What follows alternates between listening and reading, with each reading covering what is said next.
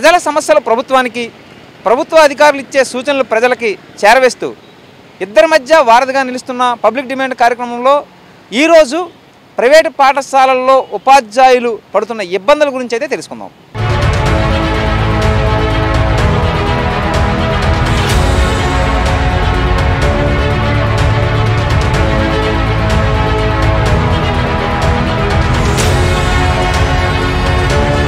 ఆంధ్రప్రదేశ్లో వైసీపీ ప్రభుత్వం ఏర్పడిన నాటి నుంచి కూడా సమస్యలు అయితే విలవతాండం చేస్తూ ఉన్నాయి. వివిధ విభాగాలకు చెందిన వారు ప్రతిరోజు రోడ్డు ఎక్కుతూనే ఉన్నారు. గతంలో మనం చూసుకుంటే సాక్షర భారతి వాళ్ళు కానీ మ్యాక్ సెంటర్లో పనిచేసే వాళ్ళు కానీ అంగన్వాడీలు కానీ ఆశా వర్కర్లు కానీ ఇలా చాలామంది అయితే రోడ్డు ఎక్కి తమ సమస్యలను తెలి ప్రభుత్వానికి తెలియజేసే విధంగా నినాదాలు అయితే చేస్తూ ఉన్నారు. దానిలో భాగంగా మనం చూసుకున్నట్లయితే ప్రస్తుతం ప్రైవేటు టీచర్లు అయితే తీవ్ర ఆందోళన అయితే వ్యక్తం చేస్తున్నారు. కరోనా నేపథ్యంలో ఉపాధి లేక జోళ్ళు అమ్ముకునే వాళ్ళు కొంతమంది అయితే కూరగాయలు అమ్ముకునే వాళ్ళు కొంతమంది అంటే ఉపాధి లేక కుటుంబాలను పెంచుకోలేక మరో వృత్తి వృత్తిలో చేరలేక చావలేక బ్రతకలేక తీవ్ర ఇబ్బందులు అయితే పడుతున్నారు. వాళ్ళందరూ కూడా వాళ్ళ ఆవేదన తెలియజేయడానికి విశాఖ జిల్లా వాళ్ళు అయితే మన దగ్గరకు వచ్చున్నారు. జిల్లా వ్యాప్తంగా మనం చూసుకున్నట్లయితే ఇరవై ఐదు వేల మంది అంటే ఉపాధ్యాయులు కానీ ప్రొఫెసర్లు కానీ లెక్చరర్లు కానీ సుమారు రెండు వేల పాఠశాలల్లో అయితే వీళ్ళు విద్యాబోధన చేస్తున్నారు వీళ్ళందరూ చాలీ చాలని అరాకొరా జీతాలతో పనిచేస్తూ ఉన్నారు. యాజమాన్యాలు అయితే ప్రస్తుతం ఈ కరోనా టైంలో వీళ్ళని పట్టించుకోలేదు. కనీసం స- సగం శాలరీలు కూడా ఇచ్చిన పరిస్థితి లేదు. వీళ్ళని అవసరమైతే ఇంకా ఏమైనా డిమాండ్లు చేస్తే ఉద్యోగాల నుంచి తొలగించే బెదిరింపులు కూడా చేస్తూ ఉన్నారని వీళ్ళు ఆవేదన అయితే వ్యక్తం చేస్తున్నారు. వీటన్నింటి నడుమ వీటన్నిటి మీద వీళ్ళ సమస్యలను పంచుకోవడానికి మనతో అయితే కొంతమంది టీచర్లు అయితే వచ్చి ఉన్నారు. వాళ్ళని అడిగి మరిన్ని విషయాలు తెలుసుకునే ప్రయత్నం చేద్దాం. సార్ చెప్పండి. ప్రధానంగా విశాఖపట్నంలో మీ ప్రైవేట్ టీచర్లు ఎదుర్కొంటున్న సమస్యలు ఏంటి? మీరు ఏం డిమాండ్ చేస్తున్నారు? ముఖ్యంగా ఆంధ్రప్రదేశ్ రాష్ట్రంలో పీటీఎల్యు చాలా నిరసన కార్యక్రమాలు తెలియజేస్తున్నాం. అందులోని ముఖ్యంగా ఆ, టీచర్స్ వచ్చేసరికి డిఈ ఆఫీసులకు కానీ అలాగే ఎంఈ ఆఫీసులకు కానీ రెఫరెన్స్ ఇస్తున్నప్పటికీ కూడా అవి చెత్త కుప్పలోకి వెళ్ళిపోతున్నా కానీ దానివల్ల ఎటువంటి ఉపయోగం అయితే లేదు. గవర్నమెంట్ వేరే ఒక కమిటీ వేసి ప్రైవేట్ టీచర్ల గురించి ఒక కమిటీ వేసి మాకు ప్రత్యేకించి ఎవరికైతే సాలరీలు ఇస్తున్నారో అసలు ఇవ్వట్లేదు. అసలు ఏటనేది కూడా పట్టించుకోవడానికి ఎంఈ ఆఫీసుల్లో కానీ డిఈ ఆఫీసుల్లో కానీ రెఫరెన్స్లు అయితే ఇవ్వడం జరుగుతుంది. అలాగనే వాళ్ళు ఎటువంటి యాక్షన్లు అయితే ఇప్పటికొచ్చి తీసుకోలేదు. ఒకవేళ తీసుకున్నట్లయితే మా నెంబర్స్ ఏంచి ఇన్స్టిట్యూట్స్కి ఇవ్వడం మళ్ళీ వాళ్ళు ఏంచి మమ్మల్ని మీరు ఎందుకు ఇలా చేస్తున్నారని ఇచ్చేయడం ఇలా జరుగుతుంది ప్రస్తుత కాలంలో. అలాగే ముఖ్యమంత్రి గారు ఈ యొక్క సమస్య ప్రతి ఒక్కరిది కాదు దగ్గర దగ్గర నాలుగు లక్షల మంది ఈ యొక్క సమస్య బాధపడుతున్నారు ఆంధ్రప్రదేశ్ వైడ్గా దానికి అలాగే కుటుంబాలు కూడా ఇప్పుడు ప్రస్తుతం ఎటువంటి చర్యలు తీసుకోవట్లేదు. అలాగే ఎవరికి చెప్పుకుంటే ఈ కష్టాలు తీరుతాయని కూడా అర్థం కాని పరిస్థితుల్లో ఉన్నాము. ముఖ్యంగా గవర్నమెంట్ మా యొక్క పరిస్థితులను అర్థం చేసుకొని అలాగే కమిటీని వేసి అలాగే సరిగ్గా ఈ దగ్గర దగ్గర ఏడు నెలలు శాలరీలు మాకు ఇప్పించి లేకపోతే ఇంకా మా యొక్క బాధలు సమస్యలు చాలా ఉన్నాయి. అందులో ముఖ్యంగా జీవోస్ అయితే అమల్లో చేయడంలో చాలా ఆలస్యత్వం ఉంది. ఎందుకంటే వాళ్ళు గవర్నమెంట్ సెక్షన్కి ఒకలాగా పనిచేస్తున్నారు. అలాగే ప్రైవేట్ సెక్టర్లోకి వచ్చేసరికి ఏ జీవోలు కూడా అమలు అవ్వట్లేదు. అది దృష్టి సారించి అలాగే కమిటీని వేసి మా యొక్క సమస్యలు పరిష్కరిస్తారని కోరుచున్నాం. అమ్మా చెప్పండి. ప్రధానంగా కోవిడ్ టైంలో మీరు ఎలాంటి సమస్యలు ఎదుర్కొన్నారు? నేను పీటీఎల్ ఉమెన్ కన్వీనర్గా పనిచేస్తున్నాను విశాఖపట్నం జిల్లా. చాలా సమస్యలు అంటే ఎదుర్కొంటున్నామండి. ఒక ఉమెన్ కన్వీనియర్గా కాకుండా ఒక లేడీస్ నుంచి చెప్పాల్సిన దాని బాధ్యతగా నేను చెప్తాను టీచర్ ఉద్యోగం అంటే ప్రతి ఒక్కరికి ఒక ఒక హై డిగ్నిఫికేషన్ చూపిస్తారు. హై డిగ్నిఫికేషన్కి వచ్చేసరికి ఈ యొక్క మా యొక్క ప్రైవేట్ టీచర్లకు వచ్చేసరికి అది ఎక్కడ కనిపించట్లేదండి. ఈవెన్ ఆఫ్టర్ చాలా మంది మనం చూస్తుంది ఈ యొక్క ఎనిమిది నెలల నుంచే కాదు ముందు కూడా చాలా జీవోస్ని మనకి అమలుపరచలేదు ఎటువంటి అంటే మనం చూస్తాము ప్రతి కాలేజ్కి వెళ్తాం ఇన్ఫ్రాస్ట్రక్చర్ బయట బాగానే చూపిస్తాడు. కానీ లోపలికి వెళ్ళేసరికి టీచర్ ఎలా ఉన్నాడు వాడికి ఏ విధంగా వాడికి శాలరీస్ అందుతున్నాయి వాడికి కావాల్సిన అవసరాలని చూస్తున్నారా కానీ ఎవరు పట్టించుకోరండి. ఎలా మెయిన్ లేడీస్ టీచర్స్ కానీ జెంట్స్ టీచర్స్ కానీ అందరికీ కూడా ఒక్కొక్కరికి ఒక్కొక్క హెరాస్మెంట్ ఉంటుందండి.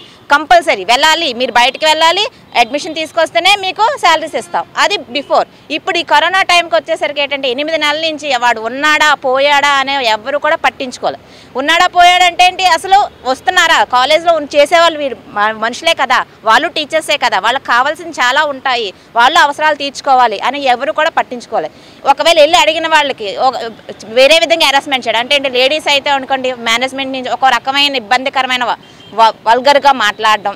లేదు హెండ్స్ అనుకోండి ఉద్యోగాలను తీసేయడం. చాలా ఉద్యోగం ఇప్పుడు చాలా మంది మంచి యాభై మంది పైన చనిపోయారు. తెలిసిన వాళ్ళు మనకి తెలిసిన వాళ్ళు తెలియని వాళ్ళు ఎంతమంది ఉన్నారు. ఈ ఐదు లక్షల మంది టీచర్స్లో చాలామంది ఎన్నో విధాలుగా ఇబ్బంది పడుతున్నారండి. మనకు మెయిన్గా వచ్చేసరికి చాలా విధంగా చెప్పాలనుకుంటే కాలేజ్ లోపల ఒక విధంగా చూపిస్తారు బయట ప్రపంచానికి వేరే విధంగా చూపిస్తారండి ఈ కార్పొరేట్ సెక్టర్లో ఈ కార్పొరేట్ సెక్టర్లో ఏంటంటే బయటకు అందరు టీచర్సే కదా. మనం ప్రైవేట్ సెక్టర్లో ఉండేటప్పుడు టీచర్స్ అనేసరికి ఒక డిగ్నిఫైడ్ లొకేషన్ కానీ లోపలికి వెళ్ళేసరికి వాళ్ళు మన వేరే విధంగా ట్రీట్ చేస్తారండి. అటువంటివి గవర్నమెంట్కి ఏ గవర్నమెంట్ టీచర్స్కి ఏదైతే మన గౌరవం ఇస్తున్నదో అదే గౌరవం ప్రైవేట్ టీచర్లు కూడా కలగాలని నేను కోరుకుంటున్నాను. ఎందువల్ల అంటే లేడీస్ ఉదయం ఎప్పుడే వెళ్తారండి ఏడున్నర. నార్మల్గా మనం ప్ర గవర్నమెంట్ స్కూల్కి అయితే తొమ్మిదిన్నరకి వెళ్తారు. కానీ ప్రైవేట్ స్కూల్ టీచర్స్ అయితే ఏడున్నర ఎనిమిది కల్లా వాళ్ళ స్కూల్లో ప్రజెంట్ అయిపోవాలి. మళ్ళీ ఈవినింగ్ వచ్చేటప్పుడు వాళ్ళకి టైం అంటూ ఉండదండి. ఏ టైంకి వస్తారో వాళ్ళకే తెలియదు. ఇంట్లో పిల్లలు ఉంటారు అదేవిధంగా పెద్ద పేరెంట్స్ ఉంటారు. వాళ్ళు చూసుకోవాల్సిన టైం కూడా వీళ్ళకి ఉండదు. ఒకవేళ ఏదైనా అడిగే సెలవు కానీ నాకు కొద్ది శాలరీ పెంచండి కానీ ఈ విధంగా అడిగితే ఆ కార్పొరేట్ సెక్టర్ వేరే విధంగా హెరాస్మెంట్స్ మేనేజ్మెంట్ ఒక విధంగా చూస్తుంది. ఇంకా వేరే వాళ్ళు ఇంకా వేరే విధంగా మాట్లాడే ఛాన్సెస్ ఉంటాయి. ఇంకోటి ఏంటంటే శాలరీ విషయాల్స్ అంటే ఈ యొక్క ఎయిట్ మంత్స్ నుంచి ఎంతో కొంత మేము అడిగేది ఏంటి? గవర్నమెంట్ కూడా మేము తెలియజేసేది. మమ్మల్ని ఎవరు పట్టించుకోలేదు. ప్రతి ఒక్కడికి ఇస్తున్నారు. ఎంతో కొంత ఉందాం. కానీ ప్రైవేట్ టీచర్స్ అంటూ చెప్పాలి అనుకుంటే ప్రైవేట్ టీచర్స్ చెప్పాల్సిన వాళ్ళు ఉన్నారని ఎవరు పట్టించుకోవట్లేదు. ఈ వస్తారు. మనకి డైలీ వేజెస్ వల్ల కూడా వస్తారు.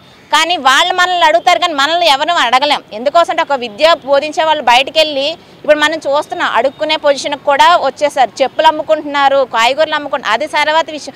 అవన్నీ కూడా మనం చేయాల్సిన పనులే. కాకపోతే ఏంటంటే అంతకన్నా దిగజారిపోయిందండి ఈ విద్యా వ్యవస్థలోని ప్రైవేట్ టీచర్ లెక్చరర్స్ యూనియన్స్లో అండ్ మనం ఉన్నాము మనం చెప్తున్నాం. కానీ ఇలాగ చెప్పలేని వాళ్ళు బాధపడే వాళ్ళు కూడా చాలామంది ఉన్నారండి. బయటికి రారు.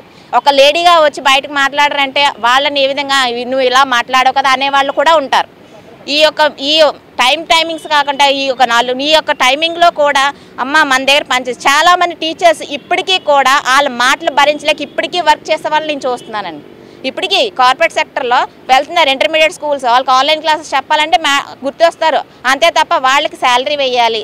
వాళ్ళకి ఈ విధంగా వాళ్ళకి కావాల్సినవి ఇన్ని ఉన్నాయి అని చెప్పాల్సిందిగా ఎవరు కూడా చూడకూడలేదు మెయిన్గా ఓకే ఆ ఇన్ఫ్రాస్ట్రక్చర్స్ అన్నీ అయిపోయిందండి. లోనికి వెళ్ళేసరికి మన కాలేజ్ చూస్తాం కాలేజ్ చూడగానే ప్రతి పేరెంట్ మనం ఏం చేస్తారు? పేరెంట్కి చూపిస్తారు. మా టీచర్స్ ఇంతమంది ఉన్నారు ఇన్ఫ్రాస్ట్రక్చర్ ఎలా కానీ ఇన్నరగా వెళ్ళేస్తారు వేలకు వేల ఫీజులు వసూలు చేస్తారండి. ఈ వేలకు వేల ఫీజులు వసూలు చేసినప్పుడు ఈ ఎనిమిది నెలల్లోని ఒక వాడికి అంటూ ఒక టీచర్ మన దగ్గర కదా పనిచేస్తున్నాడు వాడు ఏ విధంగా బతుకుతాడు? తర్వాత మనం టీచర్ ప్రొఫెషన్లో తీసుకోవాలనుకున్నా వాళ్ళు ఏ విధంగా మన దగ్గరికి వస్తారు అనేది కూడా వాళ్ళు ఆలోచించలేదండి. కార్పొరేట్ సెక్టర్ నేను చెప్ మెయిన్గా చెప్పాలంటే మెయిన్ ప్రభుత్వమే కాదు అందరూ కూడా సపోర్ట్ చేస్తేనే ఒక టీచర్ అయినా ఒక విద్యార్థి అయినా పైకి రావాలని టీచర్ సపోర్ట్ లేకుండా రాలేరు.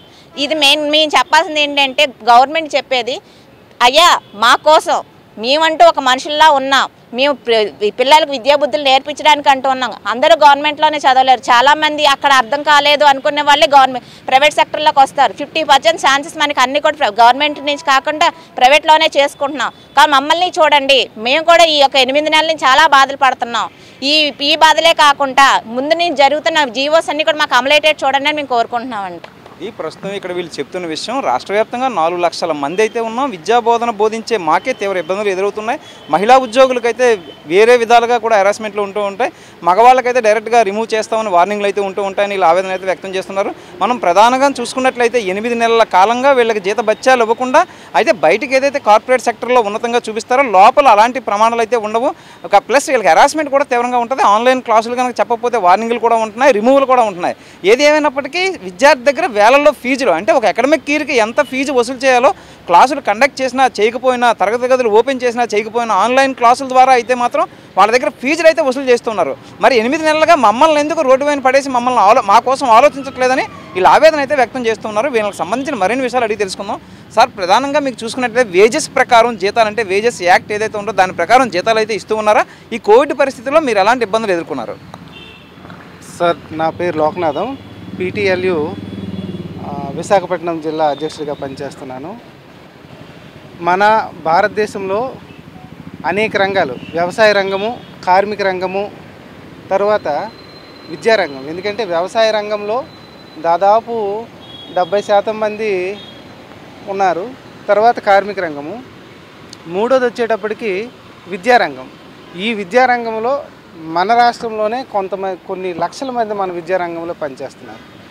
అంటే దీంట్లో టీచర్లు గాను లెక్చరర్లు గాను ఆయాలు గాను బస్ డ్రైవర్లు గాను బస్ క్లీనర్లు గాను అనేక రకాలుగా వీళ్ళు పనిచేస్తున్నారు. అయితే ఎప్పుడైతే మనది అతిపెద్ద దేశం ప్రజాస్వామ్య దేశం అయితే ఈ దేశంలో అన్నీ కూడాను ప్రభుత్వము అనేది అన్ని సౌకర్యాలు ప్రభుత్వ పరంగా ఇవ్వలేదు. అలాగే విద్య కూడాను ప్రభుత్వమే అన్ని రకాలుగా ఇవ్వలేకపోవడం వల్ల పంతొమ్మిది వందల ఎనభై దశకం నుంచి ప్రభుత్వం కాకుండా ప్రైవేటు పరంగా కూడాను విద్యను ఇవ్వాలనే ఉద్దేశంతో అప్పుడు పంతొమ్మిది వందల ఎనభై రెండులో ప్రైవేటు విద్యా సంస్థలకు సంబంధించిన ఒక చట్టం అనేది తయారు చేసి ప్రైవేట్ విద్యా సంస్థలు అనేవి ప్రారంభించుకోవడానికి అనుమతులు ఇచ్చారు. అయితే ఎప్పుడైతే ప్రైవేట్ విద్యా సంస్థలు అనేవి ప్రారంభించుకోవడానికి అనుమతులు ఇచ్చారో అనుమతులు ఇవ్వగానే ఏ రకంగా ఇచ్చారంటే గవర్నమెంట్ ఉద్యోగస్తులు అంటే ఎగ్జాంపుల్ గవర్నమెంట్ టీచర్కి వాళ్ళకి కొన్ని బెనిఫిట్స్ ఉంటాయి కొన్ని అలవెన్సెస్ ఉంటాయి. అవన్నీ ఎవరిస్తారు? గవర్నమెంట్ ఇస్తుంది. మరి ప్రైవేట్ టీచర్కి ఎవరు ఇవ్వాలి ఎవరైతే ప్రైవేట్ మేనేజ్మెంట్ పెడుతున్నారో ఆ మేనేజ్మెంటే ప్రైవేట్ టీచర్కి ఇవ్వాలి. కానీ పంతొమ్మిది వందల ఎనభైయో దశకం నుంచి ఇప్పటి వరకు దాదాపు నలభై సంవత్సరాలు అంటే నాలుగు దశాబ్దాలు అవుతుంది. ఇంతవరకు మా అలవెన్సెస్ గురించి కానీ మా గ్రాట్యూట్స్ గురించి కానీ మా బెనిఫిట్స్ గురించి కానీ ఏ రోజు ఎవరు మాట్లాడలేదు ఏ ప్రభుత్వం కూడా దాన్ని పట్టించుకున్న పాపం లేదనమాట కారణం ఏంటంటే మరి మా మేనేజ్మెంట్స్ తాలూగా కొన్ని వైఖరులు ఉంటాయి. మీకు తెలిసిందే అధికారులు విద్యాశాఖ అధికారులు వాళ్ళలో కొంతమంది ఈ లంచ లంచగొండి విద్యాశాఖ అధికారులు కొంతమంది ఉన్నారు. వాళ్ళు ఆ రకంగా ఉండడం వల్ల ఏంటంటే మాకు రావాల్సిన హక్కులనే మాకు రాకుండా పోతున్నాయి. ఎందుకంటే మరి మీకు తెలిసిందే ఈరోజు మాకు పిఎఫ్ లేదు మాకు ఈఎస్ఐ లేదు. దాదాపు రాష్ట్రంలో కొన్ని వేల స్కూల్ దాదాపు ఇరవై వేలు స్కూళ్ళు కాలేజీలు ఇంజనీరింగు డిప్లొమా అన్నీ కలిపి ఒక ఇరవై వేలు విద్యా సంస్థలు అనేవి ఉన్నాయి. ఈ విద్యా సంస్థల్లో దాదాపు ఎనభై శాతం అంటే ఒక టెన్ టు ఫిఫ్టీన్ పర్సంటేజ్ మాత్రమే పిఎఫ్ ఈఎస్ఐ మాకు ఐడి కార్డు కానీ ఇలాంటివి అనేవి ఇస్తున్నారు. కానీ రిమైనింగ్ స్కూల్స్ కాలేజీలు ఎక్కడ కూడాను అలా ఇవ్వట్లేదు. కాబట్టి దీని మీద గవర్నమెంట్ అనేది ప్రత్యేకంగా ఒక కమిషన్ లాంటిది వేయాలి. ఎందుకంటే ఇప్పుడుండే ఎంఈఓలు డిఈఓలు వీళ్ళు మాకు పూర్తిగా పట్టించుకోవట్లేదు. వీళ్ళు ఎంతవరకు గవర్నమెంట్ స్కూల్ మీదే పూర్తిగా ఫోకస్ చేస్తున్నారు. ప్రైవేట్ స్కూళ్ళు ప్రైవేట్ కాలేజీల మీద వీళ్ళు ఫోకస్ చేయడానికి వీళ్ళు వచ్చేటప్పుడు ఆ మేనేజ్మెంట్ ఏవో కొన్ని కానుకలు వాళ్ళకి ఇస్తారు. ఆ కానుకలకి వీళ్ళు బెండ్ అయిపోయి మమ్మల్ని పట్టించుకోవట్లేదు. అంటే స్కూల్ వరకు వస్తారు మా టీచర్లకు కానీ అక్కడ ఉండే ఫెసిలిటీస్ కానీ వీళ్ళు ఎవరు పట్టించుకోవట్లేదు అనమాట సో మాకు కావాల్సింది ఏంటంటే మాకు ప్రైవేట్ టీచర్లు దాదాపు ఒక నాలుగు నాలుగు లక్షలు ఐదు లక్షల మంది ఉన్నాం మేము అందరం కలిపి. మాకు ప్రత్యేకంగా ఒక కమిషన్ లాంటిది. లేదంటే ప్రత్యేకంగా ఒక వ్యవస్థ అనేది మాకు ఇవ్వాలి. అంటే ప్రతి నియోజకవర్గానికి లేదంటే ప్రతి జిల్లాకి లేదంటే ఇలా ప్రతి ప్రాంతానికి ప్రత్యేకంగా మాకు అధికారులు పెట్టడము అదే రకంగా ఈ లాక్డౌన్ టైంలోన మాకు ఉపాధి లేకుండా అయిపోయింది. గవర్నమెంట్ వాళ్ళు అనేక వర్గాల వారికి అనేక రకాలుగా గవర్నమెంట్ వాళ్ళు పట్టించుకుంటున్నారు. కానీ ప్రైవేట్ టీచర్లు కనీసం పట్టించుకోవట్లేదు. మాకు మేనేజ్మెంట్ నుంచి కాకపోయినా గవర్నమెంట్ అయినా స్పందించి మాకు బ్యాంకుల ద్వారా రుణాలు ఇప్పించడము ముద్రా రుణాలు ఇలాంటివి ఉన్నాయి. అలాంటి రుణాలు కానీ మాకు ఇప్పించినట్లయితే మేము తర్వాత మళ్ళీ స్కూల్స్ మళ్ళీ ఆన్ అయితే మేము మళ్ళీ వాటిని ఆ రుణాలని కొంత నెలవారీగా కానీ ఎంతో రకంగా మేము కట్టించుకుంటాం. అలాంటి వెసులుబాటు ఇవ్వట్లేదు. కనీసం కొంత భృతి కిందైనా ఈ లాక్డౌన్ టైంలోన మాకు భృతి కిందైనా ఎంతో కొంత సహాయం చేస్తారంటే అది లేదు. ఇవన్నీ కాకపోగా గవర్నమెంట్ ఇచ్చిన జీవోలు ఉన్నాయి. ఇప్పుడు రెగ్యులేటరీ అండ్ మానిటరింగ్ కమిషన్ అనేది ప్రత్యేకంగా మా కోసమని తప్పకుండా జీ వాళ్ళు సోకాజులు ఇవ్వమని చెప్పారు. ఎవరికి? ఆర్జేడీలు ఆర్ఐఓలు డిఈఓలు ఎంఈఓలకి ఏపీ విద్యాశాఖ ప్రత్యేకంగా కొన్ని జీవోలు ఇచ్చింది. ఏంటి? ఏ స్కూల్లో అయితే జీతాలు ఇవ్వలేదో ఆ స్కూల్లో తప్పకుండా జీతాలు ఇవ్వాలి. ఒకవేళ ఇవ్వకపోతే ఆ స్కూల్ మీద చర్యలు తీసుకోబడతాయి అని చెప్పడం జరిగింది. కానీ ఇంతవరకు ఈ డిఈఓలు ఈ ఆర్జేడీలు ఆర్ఐఓలు ఎక్కడ కూడా పట్టించుకోలేదు. ఏ స్కూల్కి కూడా ఇప్పటి వరకు కూడాను ఒక్క నోటీసు ఒక్క సూకాజ్ నోటీస్ ఇచ్చిన పరిస్థితి అయితే ఎక్కడా కనబట్టలేదు కారణం ఏంటంటే వ్యవస్థే పూర్తిగా మారిపోయింది. ఎందుకంటే ఈ ప్రైవేట్ స్కూల్ అంటే ఎవరో కాదు ఈ రాజకీయ నాయకులు. రాజకీయ నాయకుల చేతుల్లో ఈ ప్రైవేట్ స్కూళ్ళు ఉన్నాయి. రాజకీయ నాయకుల పిల్లలు వాళ్ళ బంధువులు కొంతమందికి డైరెక్ట్గానే రాజకీయ నాయకులు స్కూళ్ళు కాలేజీలు పెట్టి రాజకీయాల్లోకి వచ్చిన పరిస్థితి మనం చూస్తున్నాం. చాలామంది ఉన్నాయి. కాబట్టి ఎక్కడ ఏ స్కూల్ మీదకి వెళ్తే ఆ, మేనేజ్మెంటు మరి పొలిటికల్గా వాళ్ళకి అటాచ్మెంట్లో ఉంటుంది కాబట్టి మరి అందువల్ల ఈ అధికారులు కూడా చేయట్లేదేమో అని మాకు చిన్న బాధ అనిపిస్తుంది. అందుకే ఒక మంచి అధికారులను పెట్టి మా సమస్యల మీద స్పందించేటట్టు సత్వరమే స్పందించ స్పందించినట్టు చేసేటట్టు ప్రభుత్వము ఇప్పుడుండే ముఖ్యమంత్రి గారు చేయాలని కోరుకుంటున్నాను థ్యాంక్ యూ సార్.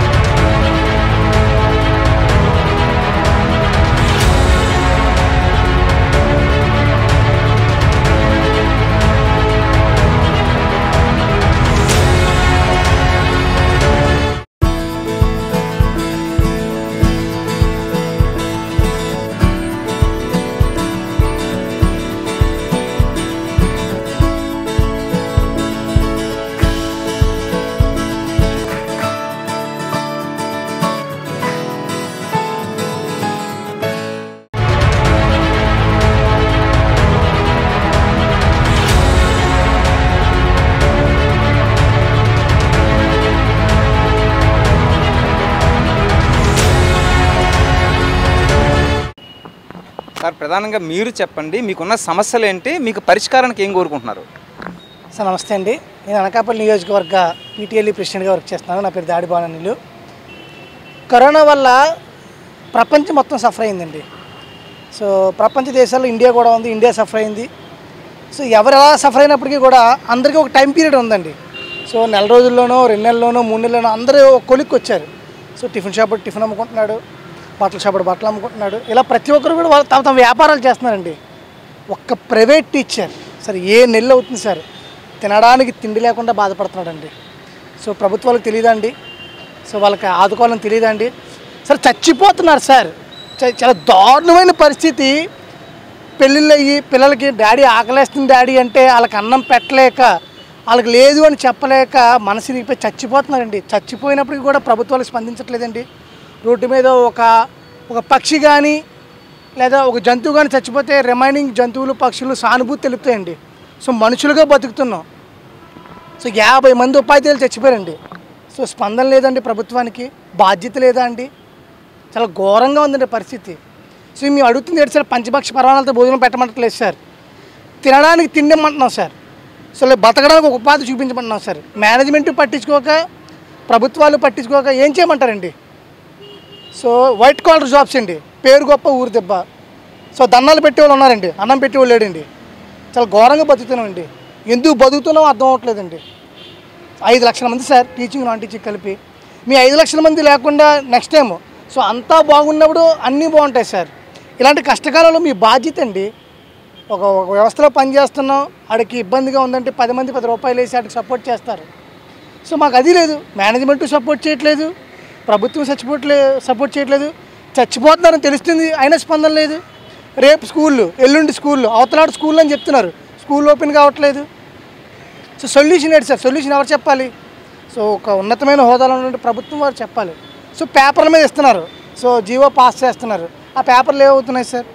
సో డెస్క్లోకి వెళ్తున్నాయి డస్ట్బిన్లోకి వెళ్తున్నాయి. ఎవరు స్పందించట్లేదండి. చాలా దారుణంగా ఉందండి పరిస్థితి.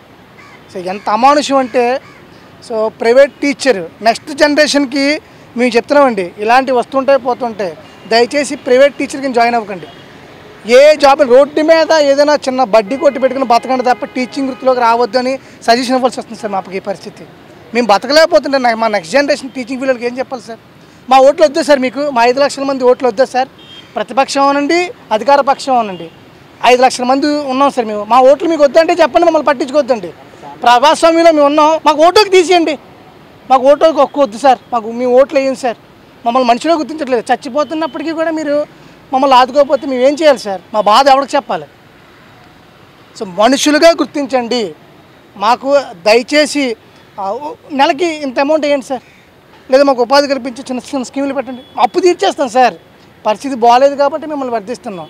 సో టీచింగ్ ఫీల్డ్లో ఏం చేయాలంటే అడుక్కోవడానికి మాకు మనసు పట్టలేదు సార్.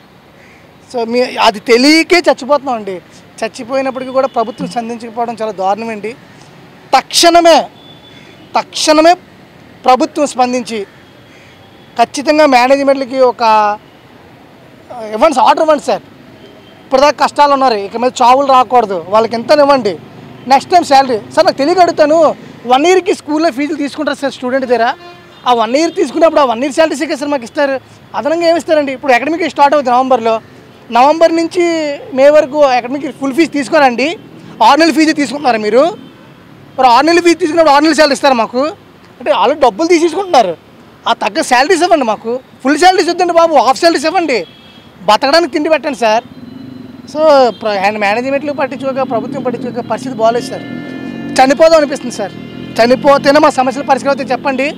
నిర్దాక్షిణ్యంగా ఏ రోడ్డు మీద మొత్తం అందరూ పెట్రోల్ ఇస్తారని చచ్చిపోతాం సార్. అంతే సార్. ఇంకెంతగా నేను చెప్పలేకపోతాను సార్. బ్రతకలేక చనిపోవడానికి కూడా సిద్ధపడుతున్నామని ఆవేదన అయితే వ్యక్తం చేస్తున్నారు. వీళ్ళకైతే పంతొమ్మిది వందల ఎనభై రెండులోనే ఒక జీవో ఒకటి ప- అప్పటి ప్రభుత్వాలు ఒక చట్టాన్ని తీసుకొచ్చి పూర్తి స్థాయిలో ప్రైవేట్ ప్రైవేట్ స్కూల్స్ రన్ చేసుకోవచ్చు అని చెప్పారు. కానీ ఆ చట్టంలో పొందుపరిచిన అంశాల ప్రకారం వీళ్ళకి జీతబత్యాలు అయితే చెల్లించడం లేదు. ప్రస్తుతం మనం చూసుకున్నట్లయితే ఇప్పుడున్న ప్రభుత్వం కూడా అంటే ఏదైతే రెగ్యులేటరీ అండ్ మానిటరింగ్ కమిటీ ఉందో విద్యాశాఖ నుంచి ఆ ఆదేశాలను కూడా ఇక్కడ ఆర్జేడీలు కానీ డిఈఓలు కానీ ఆర్ఐఓలు కానీ ఎవరు కూడా పాటించడం లేదు. ఎందుకంటే ఈ- యాజమాన్యాలన్నీ కూడా మినిమం అందరి రాజకీయ నాయకుల చేతుల్లోనే ఉన్నాయి. వాళ్ళ వాళ్ళ ఆదేశాల ప్రకారం వీళ్ళు పనిచేస్తున్నారు. ఏమైనా అంటే భయభ్రాంతులకు గురి చేస్తున్నారు. వాళ్ళకి తొత్తులుగా మారిపోయారు తప్ప మాకు న్యాయం జరగట్లేదని అయితే ఇక్కడ తెలుపుతూ ఉన్నారు. తక్షణమే అయితే ఏదైనా లోన్లు ఇస్తే తిరిగి రిటర్న్ కడుతూ ఉంటాం. లేదా ఒక వృత్తి కల్పించండి. మమ్మల్ని బ్రతకనివ్వండి. మా ఐదు లక్షల ఓట్లు మీకు వద్దా అని ప్రశ్నిస్తూ ఉన్నారు. వీళ్ళని అడిగి మరింత సమాచారాన్ని తెలుసుకుందాం. సార్ చెప్పండి. ప్రధానంగా మీ డిమాండ్ మీ సమస్య. నమస్తే అండి. నా పేరు Balaji. Anakapalli PTLU general secretary అండి. బ్రతకలేని వాడు బడిపంతులు అనే నానుడి ఈరోజు నిజమైంది. కేవలం ఐదు లక్షల మందే కాదండి. రోజు రోజు రోడ్డు మీదకి వచ్చింది. ఐదు లక్షలను నమ్ముకున్నటువంటి వెనక ఫ్యామిలీ మెంబర్స్ ఇరవై ఐదు లక్షల మంది రోజు అర్ధాకలితో ఆకలితో అలమటిస్తూ అన్నమో రామచంద్ర అనే దీనస్థితిలో ఈరోజు ఉండడం జరిగిందండి. అడుక్కోవడానికి మనసు రాలేదు. ఎక్కడికైనా కూలి పనికి వెళ్తే మీరు ఇప్పటివరకు కూడా ఎక్కడ పని చేసిన దాఖలాలు లేవు. కాబట్టి మీరు ఎక్కడ పని చేయగలరు? మీరు మిమ్మల్ని మీ పనిలో పెట్టుకుంటే మా పని దండగ తప్ప మీకు పని ఇవ్వలేని రోడ్డు మీద నిర్దాక్షంగా గెంటేస్తున్నారు చనిపోదాం అంటే వెనకాతల ఫ్యామిలీ మెంబర్స్ ఉన్నారు. వాళ్ళ పరిస్థితి ఏంటి అని దీన వ్యవస్థలో జనజనగండంగా ఎప్పుడు మా బ్రతుకులు బాగుపడతాయి దేవుడా అని మేము విలపిస్తూ ఉండడం అనేది జరిగింది. ప్రభుత్వాలు పట్టించుకోలేదు యాజమాన్యాలు పట్టించుకోలేదు. ఇటువంటి తరుణంలో మమ్మల్ని ఆదుకునే నాదుడు ఎవరా అని మేము ఎదురు చూస్తున్నాం. ఎందుకంటే ఈరోజు దేశం మొత్తం కూడా భావి భారత పౌరులు అందించే ఏకైక వ్యక్తులు ప్రైవేట్ టీచర్స్. ఎందుకంటే గవర్నమెంటు విద్యా సంస్థలన్నీ కూడా అరకొరగా మెయింటెన్స్ అవ్వడం జరుగుతుంది. ఇటువంటి తరుణంలో మినిస్టర్లు కావచ్చు సీఎంలు కావచ్చు ఎమ్మెల్యేలు కావచ్చు పెద్ద పెద్ద అధికారులు డబ్బును వీళ్ళందరి పిల్లలు కూడా చదువుకున్నది ప్రైవేట్ విద్యా వ్యవస్థలోనే. అలాంటి మంచి విద్యను అందించినటువంటి ఉపాధ్యాయులు కానీ లెక్చరర్స్ కానీ రోజు రోజు రోడ్డు మీద పడుతున్నారు. రోడ్డు మీద పడుతున్నా సరే ఏ ఒక్కరు కూడా స్పందించలేదు. మా ఓట్లు మీకు వద్దని మేము అడుగుతున్నాము. ప్రతి ఒక్కరికి వెళ్తున్నారు. ప్రభుత్వం అడగకుండానే అందరికీ కూడా అన్ని సౌకర్యాలు కల్పిస్తుంది. మీకు డబ్బులు వేస్తామంటున్నారు. మేము ఆ- ఆకలితో అలమటిస్తున్నాము. మమ్మల్ని ఆదుకోండి అంటే ఏ ప్రభుత్వం కూడా మమ్మల్ని పట్టించుకోలేదు. రాష్ట్రం మొత్తం మీద private teachers lecturers non teaching staff వీళ్ళందరూ కలిసి వీళ్ళ ఫ్యామిలీ మెంబర్స్కి అందరు కలిసి ఇరవై ఐదు లక్షల నుంచి ముప్పై లక్షలు ఓట్లు ఉన్నాయి. మా ఓట్లు మీకు వద్దా అనేసి మేము అడుగుతున్నాం. ఈరోజు మీ ఛానల్ ద్వారా మా యొక్క బాధల్ని ఈ యొక్క ప్రపంచానికి తెలియజేస్తున్నాను ధన్యవాదాలు తెలియజేస్తున్నాను. దినదిన గండం ఉద్యోగ భద్రత లేదు. ఏ రోజు ఉద్యోగం ఉంటుందో తెలియదు ఏ రోజు తీసేస్తారో తెలియదు ఏ కారణం చేత తీసేస్తారో తెలియదు అరకొర జీతాలు. జీతాలు కూడా సక్రమంగా ఇచ్చిన బాబ చాలా స్కూల్స్లో చూస్తున్నాం. ఇవ్వటం లేదు. అయినా సరే వేరే ఫీల్డ్ లేక పది మందికి విద్యా బోధనలు నేర్పి మంచి మార్గంలో తీర్చిదిద్దుతున్నాం కాబట్టి వైట్ కలర్ జాబ్గా మేము చాలామంది అవుతున్నాము. అయినా సరే యాజమాన్యాలు కానీ ప్రభుత్వాలు కానీ ఎక్కడ పట్టించుకున్న పాపన పోలేదు. మాకు ఏంటి మా సమస్యకు పరిష్కారమే లేదా? మేము దేశ పౌరులను కాదు ఈ రాష్ట్ర పౌరులను కాదా? లేదంటే ఎక్కడి నుంచి వచ్చినటువంటి కాందిస్కులమా కాందిస్కులు అయితే వాడు ఎక్కడ మూలన ఉంటాడో పోతాడని పట్టించుకోకపోవచ్చు. కానీ ఈ దేశంలో ఉన్నాము ఈ దేశంలో పుట్టాము ఈ దేశ పౌరుషత్వాన్ని కూడా మేము అనుభవిస్తున్నాము. అయినా సరే మా గురించి ఒక్కరు కూడా ఒక రాజకీయ నాయకుడు కానీ ఒక సీఎం కానీ ఎక్కడ నోరు విప్పి విప్పిన పాపన పోలేదు జీవోలు వస్తున్నాయి జీవోల జీవోలు టేబుల్ వరకు మాత్రం పరిమితం అవుతున్నాయి. ఏ స్కూల్ కానీ ఏ కాలేజ్ కానీ ఎక్కడైనా అమలు చేసినటువంటి దాఖలు ఎక్కడైనా ఉన్నాయని నేను ప్రశ్నిస్తున్నాము. మమ్మల్ని ఎందుకు పట్టించుకోకపోవాలి? మా ఆకలి ఎందుకు తీర్చుకుపోవాలి? మీకు మీ మీ అందరికీ కూడా నాయకులు కావచ్చు సీఎంలు కావచ్చు మినిస్టర్లు కావచ్చు అందరికి కూడా మా తరపున చేతులెత్తి నమస్కరిస్తున్నాం. మమ్మల్ని ఆదుకోండి. మా యొక్క ప్రైవేటు యొక్క సిబ్బందిని అన్యాయానికి గురిచేసి అర్ధాకలతో చనిపోయే విధంగా మీరు కృషి చేయకుండా మీరు మా కోసం ఏదో కొంత అడగకుండానే అనేక మందికి అన్ని రకాలుగా సౌకర్యాలు కల్పిస్తున్నారు. మాకు కల్పించండి. మేము ఇదే కల్పించమని చెప్పలేదు. ఎప్పటి వరకైతే స్కూల్స్ కాలేజీలు ఓపెన్ చేస్తే అప్పటి వరకు కూడా మా ఆకలి తీర్చి మమ్మల్ని కాపాడండి. మా మా- వెనకాతలు ఉన్న మా ఫ్యామిలీ మెంబర్స్ని కాపాడండి. మమ్మల్ని సావులకి బలి చెయ్యొద్దని మిమ్మల్ని మిమ్మల్ని చేతులతో వేడుకుంటున్నాం. నమస్కారం. అమ్మ మీరు చెప్పండి. ప్రధానంగా మీ సమస్యలు ఏంటి? మీరు ఎక్కడి నుంచి వచ్చారు? మీరు ఏం కోరుతున్నారు ప్రభుత్వాన్ని? సార్ నేను అనకాపల్లి నుంచి వచ్చానండి. అనకాపల్లి పీటీఎల్యూలో ఫైనాన్స్ సెక్రటరీగా పనిచేస్తున్నాను. నా పేరు శైలజ. కరోనా అనేది ఒకరికి కాదండి మొత్తం ప్రపంచమంతా రావడం ఒక ఎత్తు. మన ఆంధ్రాలో అయితే మాత్రం జగన్మోహన్ రెడ్డి గారు విద్యకి ఆరోగ్యానికి పెద్దపీట వేశారు. అందులో మొదటిది విద్య అయినప్పుడు విద్య నేర్పడానికి కావాల్సింది గురువులు. ఆ గురువులే ఈ రోజు రోడ్డు మీద నిల్చున్నామండి. ఏడు నెలలుగా జీతాలు లేక ఏం చేస్తున్నామో ఎలా బతుకుతున్నామో కూడా కేవలం మా ప్రైవేటు టీచర్లకు మాత్రమే తెలుసు. ఇంతమంది ఇంత బాధపడుతున్నా ఇన్ని రకాలుగా మేము ఎన్నో రకాలుగా ముఖ్యమంత్రి గారికి మా కష్టాలు తెలియజేస్తున్నా ఆయన ఎందుకు స్పందించడం లేదో మాకు తెలియటం లేదు. మహిళలకు అనగానే మన జగన్మోహన్ రెడ్డి గారు ఎన్నో రకాలుగా సాయం చేశారు. అన్ని రకాలుగా కూడా ఎంతోమంది మహిళలు ఈరోజు ఆంధ్రప్రదేశ్లో అతని వల్ల ఉపకారం పొందారు. అయితే ఈ ప్రైవేట్ స్కూల్ టీచర్స్లో ఎక్కువ మంది మహిళలే ఉన్నామండి. అలాంటి మహిళల్ని ఈరోజు పట్టించుకోవటం లేదు. దీనికి మేమందరం కూడా చాలా బాధపడుతున్నాం మహిళలంతా కూడా. అయితే మనకి అమ్మఒడి జనవరి తొమ్మిదిని ఇచ్చారండి. కరెక్ట్గా అమ్మఒడి వస్తే ఫీజులు కడతామని చెప్పి చాలా మంది పేరెంట్స్ ఫీజులు కట్టలేదండి ఎవరుని. చాలా వరకు అమ్మఒడి వచ్చేస్తుంది ఫీజులు కడతామన్నారు. జనవరి తొమ్మిది వచ్చింది సంక్రాంతి టైము మొత్తం ఫీజుల ఆ అమ్మఒడి వచ్చిన పదిహేను వేలు ప్రతి పేరెంట్ కూడా తమ సొంత ఖర్చులకు వాడుకున్నారు కానీ ఎవరు కూడా ఫీజులు కట్టలేదని మేనేజ్మెంట్స్ చెప్తున్నాయి. సో దీంతో ఏంటంటే అమ్మఒడి వచ్చాక కడతామన్నారు పేరెంట్స్ కట్టలేదు మేము మీకు జీతాలు ఎలిగిస్తాం అని మేనేజ్మెంట్స్ అడుగుతున్నాయి. దీనికి సమాధానం మేము పేరెంట్స్ని అడిగితే మాకు ఇప్పుడు కరోనా కాలం మేము ఎలా కడతామమ్మా? మమ్మల్ని మీరు ఎలా కడుతున్నారు అని వాళ్ళు అడుగుతున్నారు. ఇటు మేనేజ్మెంట్ అలా మాట్లాడుతుంది. పేరెంట్స్ కడితే ఇస్తామని వాళ్ళు అంటున్నారు. ఇటు ఏమీ తోచని స్థితిలో మేము ఈ రోజు అందరూ కూడా ప్రైవేట్ టీచర్స్ మిగిలిపోయామండి. జగన్మోహన్ రెడ్డి గారు అయితే మీరు ఈఎస్ఐ అనేది ఈఎస్ఐ ద్వారా చాలామందికి ఈరోజు కూడా ఈ త్రీ మంత్స్కి సంబంధించినటువంటి సగం జీతం ఇస్తామని చెప్పారు. కానీ ఏ స్కూల్లోని కూడా ఈఎస్ఐ లేదండి.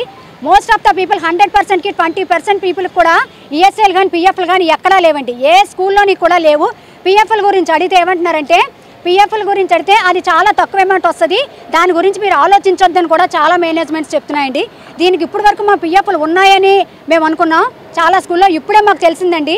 పిఎఫ్లు ఈఎస్ఐలు కూడా ఎవరికీ లేవని. ఈరోజు మాలో ఎవరికైనా ఆరోగ్యం బాగోలేకపోతే ఎవరికైనా అత్యవసర పరిస్థితి ఈ ప్రైవేట్ స్కూల్ టీచర్లే వంద రెండు వందలు యాభై వంద వేసుకొని వాళ్ళకి మేము ట్రీట్మెంట్ ఇచ్చుకోవాల్సిన గత్యంతరం వచ్చింది కానీ కనీసం ఒక్క మేనేజ్మెంట్ కూడా అయ్యో అతనికి ఇంత బాగాలేదా కనీసం వెయ్యిద్దాం వెయ్యి ఇద్దాం ఒక రెండు వేలు ఇద్దాం ఒక మూడు వేలు ఇద్దాం లేదండి. మాలో మేమే డబ్బులు వేసుకుంటున్నాం ఒక్కొక్కరు.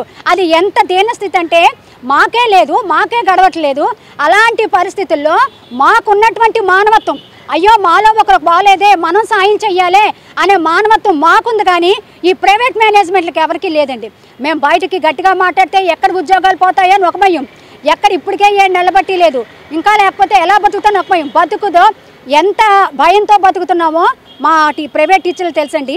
ఒకప్పుడు బతకలేని బడిపంతులు అనేవారు. ఇప్పుడు బతుకు నీడిస్తున్న బతి బడిపంతులు అయిపోయాయండి సమాజంలో. సమాజంలో మా పరిస్థితి చాలా దుర్భరంగా ఉంది. ఇన్ని రకాలుగా చెప్తున్నా సరే ఇన్ని రకాలుగా మా యొక్క నిరసన కార్యక్రమాల ద్వారా జగన్మోహన్ రెడ్డి గారికి తెలియజేస్తున్నా సరే ఆయన స్పందించలేకపోవడం నిజంగా మా దురదృష్టకరమండి. అదే ఫ్రాన్స్ అధ్యక్షుడు మొట్టమొదటిగా వ్యాక్సిన్ తయారు చేసినప్పుడు కరోనాకి ఇది ఫస్ట్ డాక్టర్లకి ఒక టీచర్స్కి ఇవ్వాలన్నారు. అంటే అక్కడ ఆ దేశంలో ఉపాధ్యాయ వృత్తికి ఎంత పెద్దపీట వేశారో తెలుస్తుంది. మన రాష్ట్రంలో మన దేశంలో ఈ టీచర్స్ ఈరోజు రోడ్డు మీద నిల్చున్నామండి తినడానికి తిండి లేక ఆరోగ్యాలు బాగోలేక ఆరోగ్యాలు క్షీణించి ఈ యొక్క ఫుట్పాత్ల మీద అమ్ముకుంటున్నారండి చాలామంది. చూస్తే చాలా దీనస్థితి. బయటికి చెప్పుకోలేక ఎవరిని అడగలేక ఏం చెయ్యాలో తెలియక మా బతుకులు నేడుస్తున్నాం. అయ్యా జగన్మోహన్ రెడ్డి గారు ముఖ్యమంత్రి గారు మీకు మేము తెలియజేసేటంటే మాకు ఎంతో కొంత నిరుద్యోగ భృతి ఇవ్వండి. మమ్మల్ని మా కుటుంబాలని మా పిల్లల్ని అందరినీ ఆదుకోండి. ఒక్క గవర్నమెంట్ వాళ్ళకి మీరు ఆఫ్ శాలరీస్ ఇస్తే రెండు నెలలు మూడు నెలలు ఇస్తే దానికి వాళ్ళు వాళ్ళు విలవిలా కొట్టుకున్నారు. రెండు నెలలకు ఆఫ్ శాలరీ అని చెప్పి వెంటనే మీ మీద కోర్టులో కేసు వేశారు. మాకు రెండు నెలలకు సగం జీతం ఇచ్చారు. మిగతా సగం జీతం వెంటనే ఇవ్వండి అని. ఏడు నెలలుగా జీతాలు లేవు సార్. ఎలా బతకాలి? ఎలా కుటుంబాన్ని పోషించుకోవాలి? ఆడవాళ్ళమే ఈరోజు ఆడవాళ్ళమే బయటకు వచ్చి కుటుంబాన్ని పోషిస్తున్నాను సార్. అందులో నేను ఒకదాన్ని. అలాంటప్పుడు మీరు రెండు నెలలకే అంత ఎంఈఓలు పెద్ద పెద్ద డిఈఓలు సైతం రెండు నెలల ఆఫ్ జీతాలకి కొట్టుమిట్టాడిపోయిన వాళ్ళు ఉన్నారు. అలాంటిది ఏడు నెలలుగా జీతాలు లేక ఇంకా ఎన్నాళ్ళు ఉంటాయో ఎన్నాళ్ళు మేము ఇంకా ఇలాంటి పరిస్థితులు బతకాల్సి వస్తుందో తెలియక బతుకు నేడుస్తున్నాను సార్. సార్ అయ్యా దయచేసి మా గురించి ఒక్కసారి మీరు వినండి సార్. నేనున్నాను నేను విన్నాను అన్నారు కదా ఒక్కసారి వినండి సార్. అది విని మా బతుకులకి ఒక సమస్యను ఒక సమస్యలు ఉన్న సమస్యలను పరిష్కరిస్తున్నారని చేతులు జోడించి నమస్కరిస్తున్నాను సార్. జై హింద్. జై పీటీఎల్యూ. అమ్మ చెప్పండి అమ్మా మీ ప్రధాన సమస్య. నా పేరు ఈశ్వరి అండి. అనకాపల్లి నియోజకవర్గ వైస్ ప్రెసిడెంట్గా ఉన్నాను నేను. నేను నా భర్త ఇద్దరివి కూడా గత పాతిక సంవత్సరాలుగా ప్రైవేట్ ఉపాధ్యాయులుగానే ఈ బ్రతుకుని ఇడుస్తున్నాం మేము. అరకొరకు జీతాలతోనే బతుకుతున్నాము. కానీ ఈ కోవిడ్ వచ్చి మా జీవితంలోని చెప్పుకోలేని సమస్యల్ని తీసుకొచ్చిందండి. మేము ఇప్పటివరకు ఎంతో ఆత్మాభిమానంతో బ్రతికాము. ఎవరికి చేయి చాచుకునే పరిస్థితి కాదు మాది. ఉపాధ్యాయులుగా బతుకుతున్నాం కాబట్టి ఎంతో హుందాగా బతుకుతున్నాము. కానీ ఇప్పుడు చేయి చాచుకొని చేయి చాచి అడుక్కునే పరిస్థితికి తీసుకొచ్చిందండి ఈ కోవిడ్. కానీ ఈ ప్రభుత్వాలు యాజమాన్యాలు పట్టించుకోకుండా ఇలాగే చూస్తున్నాయండి మా మా జీవితాలు. అందరినీ పట్టించుకున్న ఈ జగన్ బాబు మమ్మల్ని పట్టించుకోవట్లేదు అసలు. మమ్మల్ని పట్టించుకొని యాజమాన్యాలు మాకు జీతాలు ఇచ్చినట్టుగా చేస్తారని అతని చేతిలో అధికారం ఉంది కాబట్టి అతను మమ్మల్ని ఆదుకుంటారని మేము కోరుకుంటున్నామండి. జై పీటీఎల్. సార్ చెప్పండి మీ ప్రధాన సమస్య ఏంటి? మీరు ఎంతకాలంగా పనిచేస్తున్నారు? వైద్య ఈ వృత్తిలో ఉన్నారు. సార్ నేను గత ఇరవై సంవత్సరాలుగా టీచింగ్ వృత్తిలోనే ఉన్నాను సార్. నేను చాలా ఉత్తమ ఉపాధ్యాయుని సార్. నేను పాఠం చెప్తే పిల్లలు అందరూ నన్నే ఇష్టపడతారు సార్. మా స్కూల్లో నేనంటే పిల్లలు జగన్మోహన్ రెడ్డి గారు చీఫ్ మినిస్టర్ గారు మీకు దండాలు పెడుతున్నాం. ఈరోజు ప్రైవేట్ టీచరు స్కూల్లో ఉండవలసిన టీచరు రోడ్డు మీద ఉన్నారు సార్. ఇది దేశానికి కానీ మన రాష్ట్రానికి కానీ అది మంచిది కాదు సార్. ఉపాధ్యాయుడు ఎక్కడైతే గౌరవించబడతాడో ఎక్కడైతే అది సస్యశ్యామలంగా ఉంటుందో అది అది రియల్ కంట్రీ సార్. అయితే మీరు మా ఆశాజ్యోతి మీరు వస్తే నిజంగా చాలా బాగా జరుగుతుంది బాగా చేస్తారు. ఎస్పెషల్లీ ప్రైవేట్ స్కూల్ చేస్తున్నటువంటి మోసం కానీ అవి అరికడతారు. ప్రైవేట్ టీచర్లకి న్యాయం చాలా జరుగుతుందని ఆశతో మేము ఎంతవరకు ఎదురు చూస్తున్నామండి. కాకపోతే మేము అన్నీ మీరు పోస్టులు తీయలేక మేము డి బిఏడీలు టెట్లు అన్నీ క్వాలిఫై అయ్యాం. పోస్టులు లేక ఒకటో రెండు పోస్టులతో పోటీ ప- పడి జస్ట్ మిస్ అయ్యి ఈ ప్రైవేట్ వృత్తిలో గౌరవంగా ఎంతవరకు కొనసాగినప్పటికీ కూడా బాధాకరమైనటువంటి జీవితం అనుభవిస్తున్నాం. ప్రైవేట్వి అసలు నాకు ఒక్కటే డౌట్ సార్. టీచర్గా నేను పిల్లలకి ఏం చెప్తాను మా బ్రతుకులు ఇలా ఉంటే నేను గమనించింది ఒకటి సార్. ఈ వ్యవస్థ అసలు మీరు వస్తే చాలా మారుస్తారని నమ్మకంతో ఉన్నాం సార్. మీరు చాలా వరకు మార్చారు విద్యా వ్యవస్థలు ఎస్పెషల్ గవర్నమెంట్ స్కూల్స్ అయితే మీరు బాగా మార్చేశారు. అయితే ప్రైవేట్ విద్యా వ్యవస్థ కూడా ఒకటి ఉంది. అందులో ప్రైవేట్ టీచర్స్ ఉన్నారు. అది కూడా మారాలి. మీరు ఎస్పె ఒక ఎగ్జాంపుల్ తీసుకుంటే పోలీస్ వ్యవస్థ ఎంత బాగా చేస్తుందంటే ఒక ఆటో డ్రైవర్ గీత దాటితే వెంటనే ఫైన్ వేస్తున్నారు సార్. కానీ ప్రైవేట్ విద్యా సంస్థలు ఎన్ని తప్పులు చేసినప్పటికీ కూడా ఒక్కరు కూడా పట్టించుకోవడం లేదు. ఒక్క సెక్స్ కానీ లేదు సార్. ఒక టైమింగ్స్ మెయింటైన్ చేయరు. ఒక హాలిడేస్ మెయింటైన్ చేయరు. ఒక ఫీజు కానీ ఇటువంటిది కూడా వాళ్ళ గవర్నమెంట్ నిబంధనలను ఒక్కటి కూడా పాటించరండి.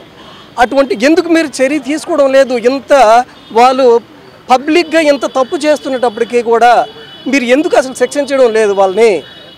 మాకు మీడియా ముందుకు వచ్చామంటే ఇంకా మాకు ఎప్పుడు కూడా ఎక్కడ కూడా ఎవరు కూడా తీసుకోరండి.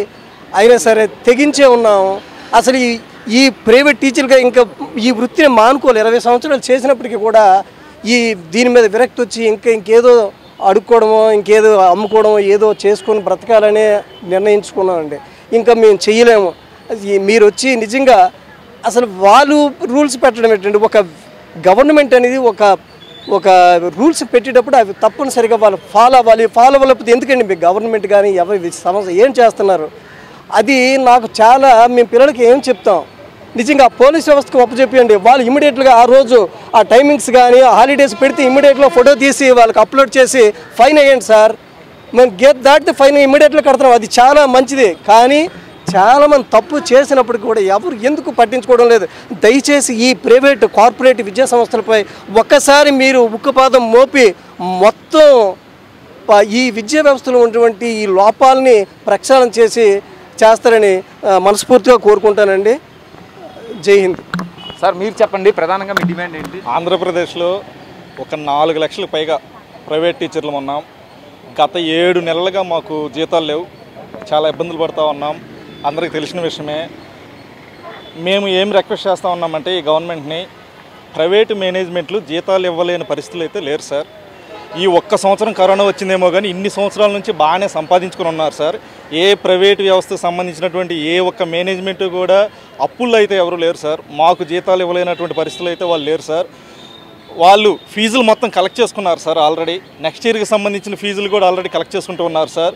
ఇప్పుడు ప్రభుత్వం నుంచి ప్రభుత్వం చేయాల్సింది ఏంటంటే చాలా మానిటరింగ్ కమిషన్లు వేస్తున్నారు లేదంటే ఇన్స్పెక్షన్ కమిషన్లు వేస్తున్నారు ప్రైవేట్ మేనేజ్మెంట్లకి వేయాల్సింది అవి కాదు సార్. మాకు జీతాలు ఇవ్వడానికి ఏదైనా కమిషన్ ఇప్పించడానికి ఏదైనా కమిషన్ వేయండి. ఖచ్చితంగా మీరు వచ్చి కూర్చొని కొంతమంది ఒక కమిటీ వచ్చేసి ఒక స్కూల్లో కూర్చొని ఈ ఐదారు నెలలుగా జీతాలు ఎంతమందికి ఇచ్చారు ఎంతమందికి ఇవ్వలేదు అని చెప్పి ఇట్లాంటి కమిటీలు వేయండి సార్. మాకు జీతాలు ఇప్పించండి సార్. మేము కూడా భారతదేశంలో పౌరులమే సార్. మాకు ఓటు హక్కులు ఉన్నాయి సార్. మేము నాలుగు లక్షల మంది మీ మేమేమన్నా అసలు పౌరులుగా గుర్తించబడి గుర్తించబడుతున్నామా లేదా? ఒకసారి చెక్ చేయండి సార్. లేదు మేము పౌరులం కాదు మాకు ఈ భారతదేశానికి ఇటువంటి సంబంధం లేదంటే మా మీద ఏదైనా యాక్షన్ తీసుకోండి సార్. మమ్మల్ని మీరు ఏదో చేసేసి చంపేసేయండి సార్. మీరు జగనన్న ఎలక్షన్ టైంలో మీరు చెప్పారు మీకు గుర్తుందో లేదో నేను విన్నాను నేను ఉన్నాను అని చెప్పారు. మీరు ఏమి విన్నారు ఎక్కడ ఉన్నారు మీరు? మేము కనిపిస్తున్నామా మీకు? మాకు కనిపిస్తున్నారా మీరు? మా బాధలు ఏమైనా కానీ మీకు ఏమైనా వినిపిస్తున్నాయా? మా మా ఆకలి చావులు మీకేమన్నా కనిపిస్తున్నాయా? ఒకసారి మా మీద దృష్టి పెట్టండి. మేమేం కోరుకుంటున్నామంటే మాకేమైనా చిన్న చిన్న రుణాలు ఇప్పించండి. మేము బతకడానికి ఏదైనా బ్యాంకుల ద్వారా కానీ తక్కువ వడ్డీకి కొంచెం రుణాలు ఇప్పించండి. లేదా మేనేజ్మెంట్లతో మీరు మాట్లాడండి. ఒక కమిటీ వేయండి. మేనేజ్మెంట్ల దగ్గర కూర్చోండి. వాళ్ళ వాళ్ళ దగ్గరికి వచ్చేసి మాకు ఏదో ఒక విధంగా మాకు జీతాలు ఇప్పించేలాగా చేయాలని చెప్పేసి మేము రిక్వెస్ట్ చేసుకుంటూ ఉన్నాం. థ్యాంక్ యూ ఇది ప్రస్తుతం ఇక్కడ ఉన్న పరిస్థితి. వాళ్ళైతే ఆకలి చావులు అయితే చెబుతూ ఉన్నారు. మాకు ప్రస్తుతం ఆ రోజు పాదయాత్రలో ఏదైతే చెప్పారో నేను విన్నాను నేను ఉన్నాను అని దాని హామీ నిలబెట్టుకోవాలని అయితే ఇక్కడ కోరుతూ ఉన్నారు. కెమెరా పర్సన్ సూర్యతో శ్రీనివాస్ ఏసీటీ న్యూస్